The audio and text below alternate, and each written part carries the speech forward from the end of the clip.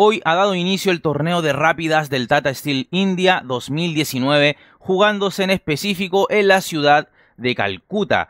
Todo esto a ritmo de 25 minutos por jugador más 10 segundos de retraso. Participan 10 jugadores y se brindan 2 puntos por triunfo, 1 al empate y 0 a la derrota. Esta partida corresponde a la segunda ronda. Hoy se han jugado tres y todos los días se jugarán tres rondas. Y se enfrentan con piezas blancas el gran maestro de Noruega y campeón del mundo Magnus Carlsen versus piezas negras el gran maestro de Rusia Ian Neponiachi, el cual a lo largo del tiempo le ha tenido una especie de paternidad a Magnus. Pero bueno, en rápidas las cosas pueden ser algo diferentes. Sin más, comencemos. Abre la partida Magnus Carlsen con E4 apertura del peón de rey. Y a Neponiachi con su clásico peón C5 defensa siciliana, caballo F3, D6, avisando Nepo que podría venir una siciliana Naidorf, pero ahora Magnus juega lo que él mismo popularizó hace algunos años. Alfil B5 jaque, que se conoce como el ataque Kanal Sokolsky, esta jugada tiene por objeto evitar la Naidorf de las negras y además entrar en un duelo bastante menos teórico. Es decir, todo esto es muy magnusiano, ¿verdad? Caballo de 7. Nepo juega la que yo considero la opción más agresiva para las negras, evitar el cambio de alfiles y jugar más dinámico. Esto de taponear con el caballo lo hacía también muchísimo Kasparov con negras. Sigue la partida con D4 C por D4, dama por D4, la dama se centraliza ya que puede, no hay caballo que lo pueda movilizar. A6, alfil E2, caballo GF6, enroque, E5, aceptando Nepo el jugar con un peón retrasado. Mencionar que G6 es otra alternativa, pero luego de E5 caballo por E5, caballo por E5, D por E5, dama por E5, alfil G7, torre D1, dama B6, caballo C3, y veríamos que las negras tendrían problemas para enrocar de inmediato producto de la caída de su peón D7, ¿verdad? Entonces, desde ahí es más usual ver este E5. Por supuesto, Magnus se quita de la amenaza, dama E3, y ahora caballo C5, tocando en E4 con ambos caballos caballo F de 2, B5, C4, ruptura, B por C4, Nepo acepta por supuesto, siempre que se puede debemos capturar con nuestros peones laterales los peones centrales del oponente. Y ahora el campeón del mundo juega caballo C3 ganando en desarrollo, ya que no hay necesidad de capturar ahora mismo el peón negro, además que se protege al peón D4. Alfil B7 sigue la partida, alfil por C4, alfil E7, B4 ahuyentando al burro, caballo E6, caballo E3, torre C8 y ahora caballo A5, que defiende su propio alfil en C4, pero además toca al alfil de las negras en B7 y en suma va ganando en iniciativa el conductor de las piezas blancas. Dama de 7, una jugada pasiva de Nepo, tiene sentido en cuanto a que está protegiendo a su alfil, pero mucho mejor, más activa era caballo de 4. Movimiento que, como ya mencioné, es bastante más incisivo. Y te preguntarás, ¿qué acaso no está entregando el alfil de B7? Sí, pero mira bien el tablero y fíjate en la secuencia. Caballo por B7 y ahora dama B6 y la pieza se recupera, sea el caballo de B7 o el alfil de C4. ¿Te fijas? Ok, hay que mirar todo el tablero siempre.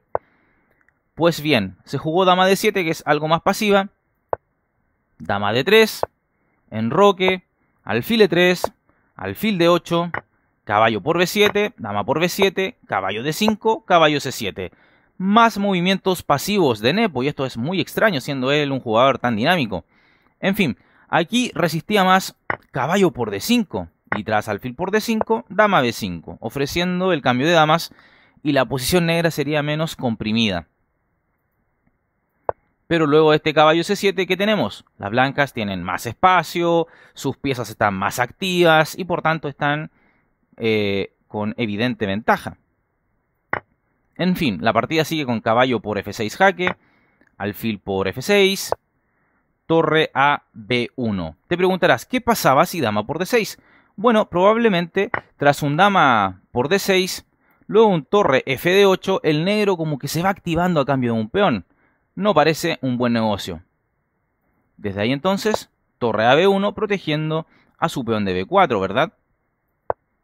Bueno, sigue la partida con torre f de 8, pensando en un pronto movimiento liberador como de 5, y ahora el campeón del mundo juega torre f de 1, justamente controlando el avance del peón negro, evitando que el ruso se deshaga de su peón retrasado. La posición blanca es ya de clara ventaja.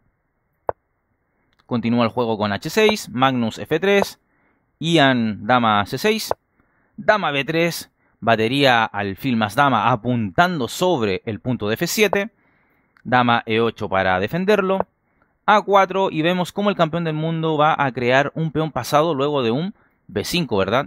Claramente esa es la idea torre b8, pero igualmente b5, a por b5, a por b5, caballo e6 y b6. Un peón pasado decisivo el que tiene Magnus, sin mencionar la pareja de alfiles que posee, ¿verdad? En fin, sigue el juego con alfil g5. Y esta es astuta estrategia de Nepo, que como aprendimos en las clases de estrategia que se hicieron en este canal, cuando uno de los bandos tiene menos espacio que el rival, debe buscar el cambio de piezas para aligerar la presión. ¿Qué hace Magnus ahora? Alfil F2, por supuesto, no cediendo a los deseos de su oponente. Sigue la partida con caballo D4, está tocando a la dama.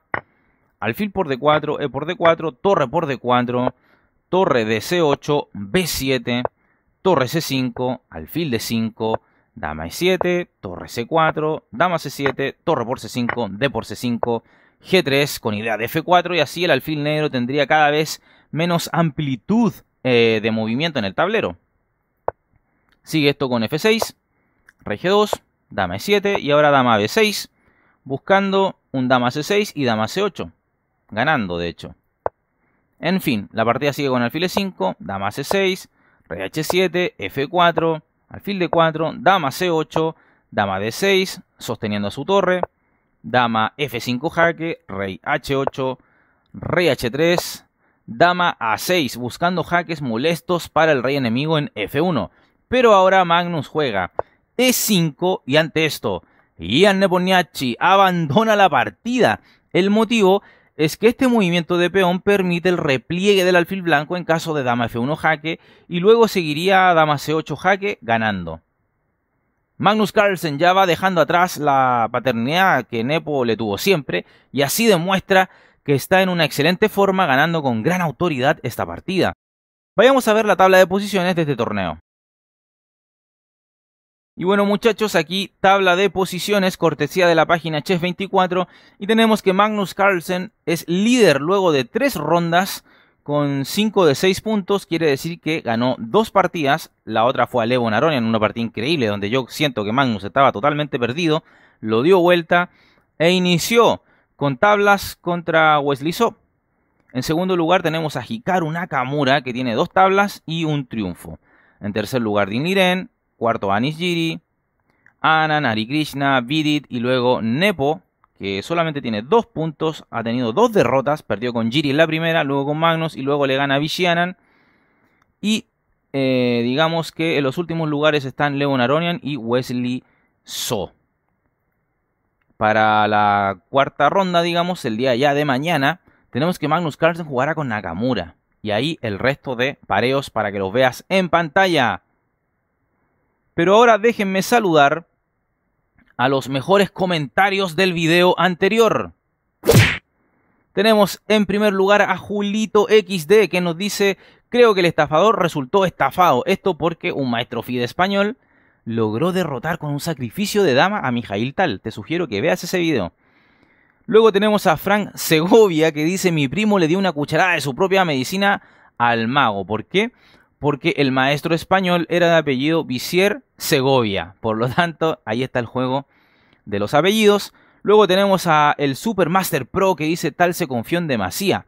Recibió un poco de su propia medicina, totalmente de acuerdo. Y finalmente tenemos a Andrés Ortega quien nos dice que realmente arriesgado sacrificar la dama al mago de Riga. Excelente partida psico. Bueno, no hay saludos respecto a la gente del chat porque el video anterior no fue un estreno y por tanto no tuvo chat, pero desde ahora retomaremos, así es que todos ahí tranquilos que por supuesto en los siguientes videos iré saludando a las personas que aparezcan en el chat, a los primeros que aparezcan de hecho. Así que activa la campana si no quieres perderte estos saludos. Finalmente tenemos a los miembros. Tenemos aquí entonces un listado de todos aquellos que aportan con un valor monetario, sea por un mes, por tres meses, seis meses e incluso para el año. Estas son personas que eh, se la juegan y creen en este proyecto de partidas inmortales de ajedrez, se divierten, sienten que aprenden y de alguna manera me retribuyen todo lo que disfrutan de este canal, ¿verdad? Así es que muchísimas gracias a los miembros y bueno, Finalmente, dale me gusta al video, suscríbete al canal, compártelo con tus amigos, síguenos en todas las redes sociales que están en la descripción del video y como siempre agradezco a aquellos que apoyan al canal, además de ser miembros, con una donación. Un abrazo grande y se cuidan, chao chao. Suscríbete al canal y activa la campana para recibir las notificaciones de partidas inmortales de ajedrez en tu teléfono móvil, en tu correo electrónico y así recibirás al instante el aviso de un nuevo video o directo en nuestro canal.